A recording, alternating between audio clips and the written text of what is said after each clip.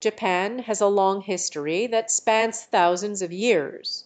It started with indigenous tribes inhabiting the islands and eventually developed into a complex society.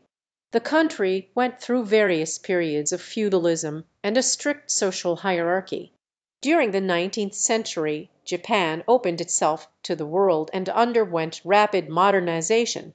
It became an imperial power and participated in World War Roman II.